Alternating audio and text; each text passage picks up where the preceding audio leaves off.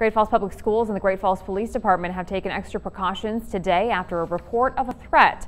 Secondary Assistant Superintendent Tom Moore says they became aware of the threat on Saturday. Moore says it all started when a student made an anonymous post on social media about another student. The Great Falls High student who was referenced in the post then posted a threat against the first student. The individual who made the threat is currently suspended.